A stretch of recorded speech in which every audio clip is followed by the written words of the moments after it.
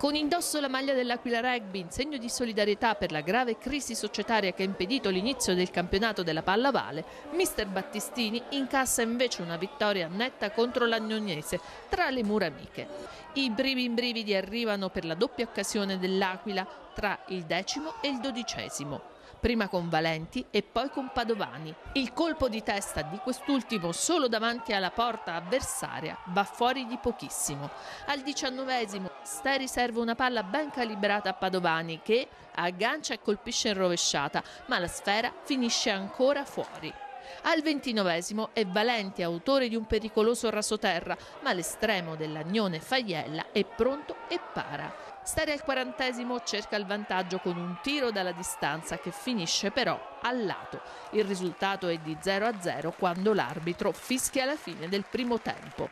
Al rientro dagli spogliatoi un brivido arriva all'undicesimo per uno scambio tra Sieno e Valenti che mette in pericolo la porta dell'Agnonese, ma la palla finisce al lato di poco. Al tredicesimo una ghiotta occasione per Valenti, autore di un bellissimo tiro dalla distanza, viene parata da Faiella. La palla però rimane in area e nel tentativo di impadronirsene il difensore molisano fa fallo su Boldrini. L'arbitro assegna il calcio di rigore per l'Aquila.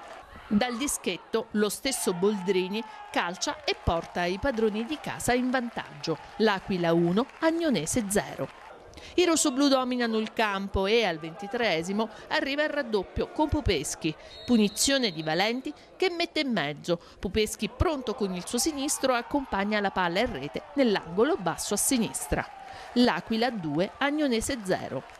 Al 34esimo però un colpo di reni per l'Agnonese che con Pejec tenta il tiro che finisce al lato di poco. Al 37esimo risponde l'Aquila Calcio su palla messa fuori dalla difesa ospite con Valenti che calcia ma non c'entra lo specchio della porta.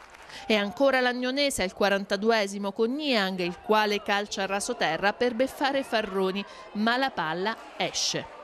Nel recupero al 46esimo l'Agnonese accorcia le distanze con Santoro ma di lì a due minuti il triplice fischio dell'arbitro chiuderà la partita con la vittoria dell'Aquila Calcio.